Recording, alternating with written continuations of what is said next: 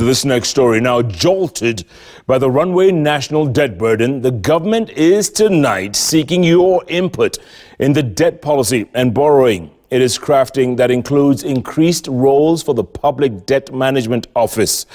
Among the proposed functions of the office is issuance of reports every four months on loans borrowed by the government with focus on departure from short-term expensive commercial loans to long-term concessional debts at lower interest rates.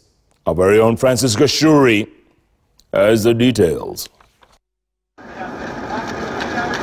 In just six years of President Uhuru Kenyatta's tenure, the national debt has ballooned to 6 trillion shillings, up from 1.8 trillion shillings, with a huge chunk of the national revenue being used to service expensive commercial loans procured to finance infrastructure projects. The National Treasury acknowledges that something must give Acting Cabinet Secretary Ukur Yatani has crafted a debt policy and borrowing framework and invited various stakeholders to weigh in on how to tame the government's appetite for loans. The policy is meant to act as a guideline for debt management, including the issuance process, management of debt portfolio, and adherence to laws governing debt contracting. It's not about that, you know, we want to raise 90 trillion and we are going to now have all that money, I mean, to borrow the remainder of the balance. No.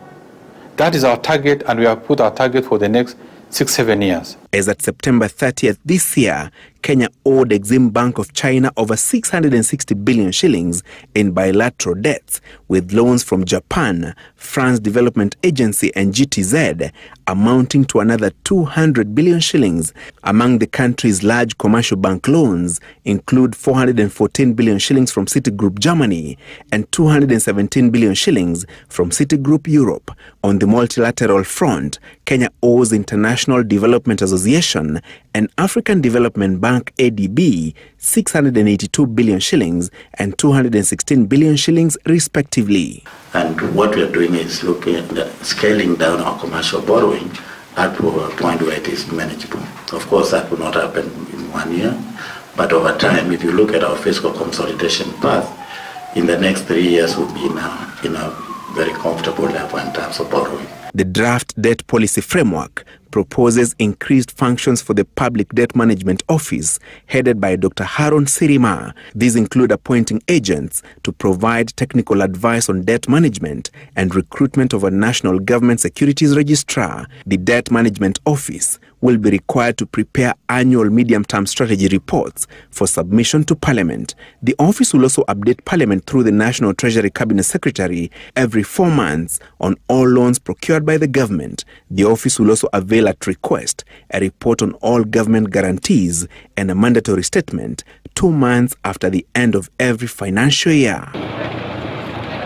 On commercial loans, the draft framework proposes that government maximizes borrowing from concessional sources unless the projects being implemented, such as military affairs, cannot be funded from such sources. On short-term borrowings, the draft document proposes they be restricted to management of cash flows and limited to 12 months. The government will also be compelled to maximize borrowing loans for investment in projects that can generate proceeds that will directly or indirectly service the debt. Francis Gachuri, Citizen TV.